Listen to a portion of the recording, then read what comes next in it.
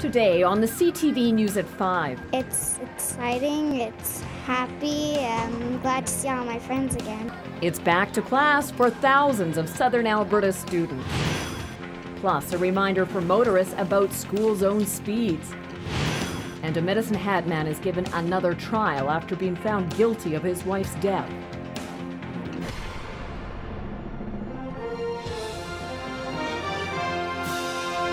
CTV News with Jackie Scantlebury. Good afternoon. Summer vacation is officially over. Thousands of students headed back to school today, a day filled with excitement and nerves. Kids at Senator Buchanan Elementary School returned to class after recess. Many were still burning off all the energy they had built up from their summer holidays. The kids say they're excited to be back and are happy to see their friends again. It was my first year going upstairs.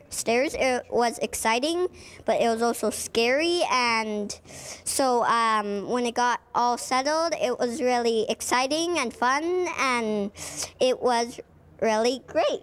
Everyone is so excited to be here, right? I mean, uh, um, we met in uh, May just to kind of introduce uh, the new teacher, and I think they've been talking to moms and dads ever since then about going to school. And it's exciting, it's happy, I'm glad to see all my friends again. But I kind of do miss the summer just a little bit. Now, with a new school year comes new rules for motorists once again. Motorists are reminded school zones are now back in effect in the city. Police will be targeting right-of-way violations, parking infractions, and speeders. Officers say motorists have been following the posted speed limit so far, but parents have a message for motorists zone in particular, it's been very good. Uh, we've seen a couple that uh, may have been going a little bit faster than they should have, that weren't paying attention, and we had to kind of stick the, the hand out to get them to stop for the kids. Just take your time and go slow in the playgrounds areas so that my child can come home safely. Please slow down. There's been lots of people that go by here pretty quick, and just remember that they're all excited, they're not watching, so please just slow down they're excited. They're not really watching the roads because they're so excited to be back to school. So it's important that drivers slow down and, and pay attention to the kids that are that are out on the roads.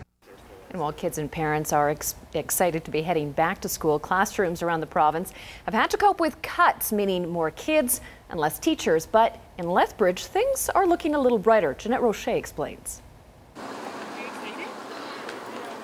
Nearly 10,000 public school students in Lethbridge headed back to class, and close to 200 of them are new to School District 51. Oh, we're very excited, a little nervous to be going back to school today, starting kindergarten for the first day. Are you excited, baby? Mm-hmm. She's a little nervous. This kindergartner may be jittery about meeting her teacher and classmates, but the provincial budget is the last thing from her mind.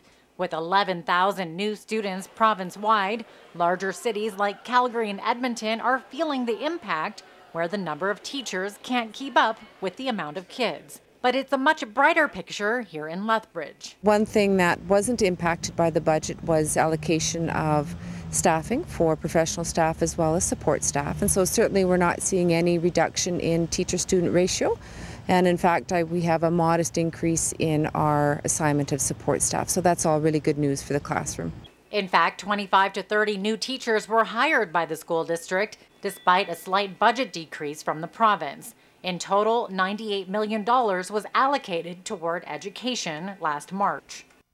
This year, uh, government actually increased funding to uh, education, uh, K to 12 education. And uh, although it's not as much as uh, some folks would like, is that we didn't take any money away from the instruction, and every new student walking in the door this year is going to be funded to the same level that they were last year. And while the provincial budget hasn't impacted K to 12 classrooms in Lethbridge, it's a different story with the city's post-secondary institutions.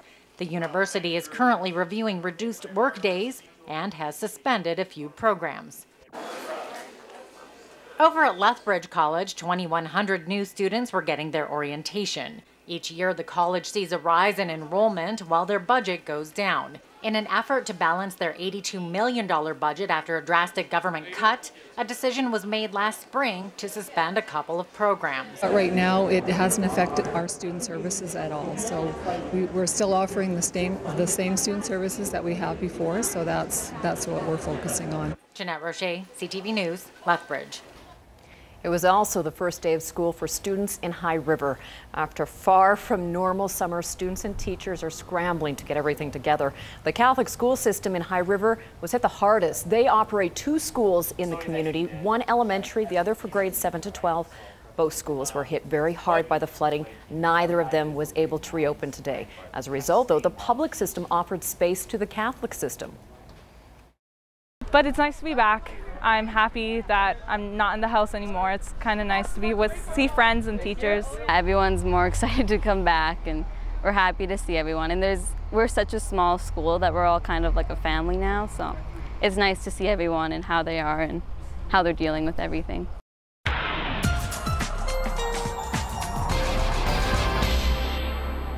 But a very hot start for back to school, Dory. Yeah, it was. Uh, today was a little warm. I mean, 26 degrees was our maximum high, but then we kind of slid down the scale, as you'll see when we get into the body of the weather. We have cooled down a bit. Had a few sprinkles as well, but area of high pressure is going to be redeveloping uh, starting tomorrow. Our barometric pressure is already rising, so that bodes well. More heat's on the way and more details. I'll tell you all about it in a couple of minutes. Thank you, Dory. Brad Cooper, a former Medicine Hat man convicted of murdering his Edmonton-born wife, has been granted a new trial in Raleigh, North Carolina. A Google map image of where her body was discovered was found on Cooper's computer. But as Ed Crump reports, a key reason why a new trial has been granted is because Cooper's lawyers were unable to call their own expert regarding that piece of evidence. Three months after Nancy Cooper's body was found near a Cary construction site in 2008, one neighbor applauded the arrest of her husband, Brad. Nancy Cooper's life and death had an impact on many in Cary, and her husband's trial, full of salacious testimony about arguments and affairs, captivated the triangle.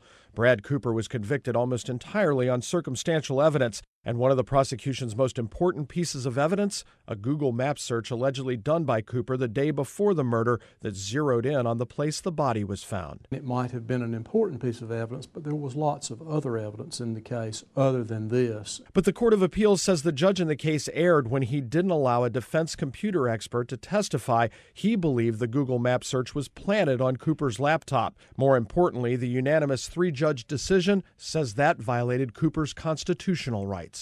The foreman of the jury actually wrote a letter to the media outlets in which he explained that the single piece of evidence that caused this jury to arrive at their verdict was the Google map. So any argument to the contrary is simply not true. Lethbridge pub owners are still assessing the impact on business, but say a move to crack down on drunk drivers seems to have affected attitudes about drinking and getting behind the wheel. It's been one year since police began getting tougher on drivers who blow between 0.05 and 0.08.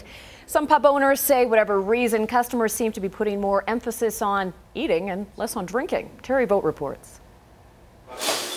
It's been a year since Alberta introduced some of Canada's toughest impaired driving laws, and while many pub owners are reluctant to talk about how the changes have affected their liquor sales, they will talk about how customers have responded. Um, at first, I think it was a little bit of a sort of an eye opener. The owner of Honker's Pub, Vicky Vandenhoek, says she's noticed people are more cautious. Kind of monitoring how much they're having, how, when they're having it, and probably having more food uh, when they are having a few drinks. Pub owners say the combination of lower tolerance levels and higher penalties have helped to increase awareness about drinking and driving. And in Lethbridge, at least, some pub owners say they've made adjustments to their business because of that. For example, Front Row Pub has just completed renovations, adding a full-service kitchen. Our name has changed from Front Row Pub to Front Row Pub and Grill, so people know that we are a destination food place um, as well as a liquor place. David Caruso says he thought about expanding the kitchen and food menu for years, but the legal changes to drinking laws pushed him to finally do it. People are uh, wanting to have something to eat before they have a drink now. Caruso says he's still not sure how the economics will work out, but has definitely noticed a trend. And if the experience in other provinces is any indication, people are drinking less when they go out, and that bar owners here can expect the tougher laws to spark a change in lifestyle, not just a temporary drop in sales. Terry Vogt, CTV News, Lethbridge. A longtime high school teacher and community volunteer has joined the list of Lethbridge City Council candidates. Joey Shackelford says he believes councillors need to balance the best interests of the city with those of the taxpayer. A Southern Alberta couple is doing their happy dance today. David and Janice Race from Warner won $100,000 on the Lotto 649 draw extra. The pair bought the August 7th winning ticket from Warner Foods. David and Janice plan to pay off a few bills and then take a winter vacation. Speaking of money, the Free the Fuzz campaign has wrapped up for another year. It took almost 30 hours of hard work at the North and South Walmart locations in Lethbridge to collect donations for Special Olympics. But Lethbridgeites dug deep and helped raise over $22,000, which will help go towards athletes on their way to the games. The Lethbridge Regional Police would like to thank everyone who came out to support the great cause. It's not the kind of thing most people have on their bucket list. But for one Southern Alberta beekeeper, wearing a bee beard has always been a long-time goal, and folks attending Chinook Honey's annual Harvest Festival are still buzzing about it. We have more tonight's report from Farm TV. To add a little more excitement to Chinook Honey's 2013 Harvest Festival, owner Sherry Andrews promised to do something she had always wanted to do have a bee beard. Well, the bee beard was something I have personally wanted to try for many years uh, as a, perhaps a personal challenge, but also because um, to me it really emphasizes all the good things about honeybees and the fact, and, and it really is something to help erase uh, people's fears of bees. When you can actually see bees covering me, my face, my, my neck, um, and it, it just obviously tells you, well, they're not that a big thing to be afraid of. So what did it feel like? It's interesting because at first it tickles a little bit and then uh, what's interesting because bees have small claws on uh, their legs and so they actually will grip with them and so as they're gripping on your skin you can feel it but then what you maybe don't realize and what's interesting the first time you do it is that they grip and then they get uh, joined by 20 other honeybees. So there's actually, you're supporting a chain of 20 bees on your skin, not just one. And so it can have a slight sensation of a sting. Farm TV is brought to you by DA Building Systems. An update for oil as the markets kicked off again. Here are the day's closing numbers. Straight ahead, though, Dory's got your forecast. Stick around for that.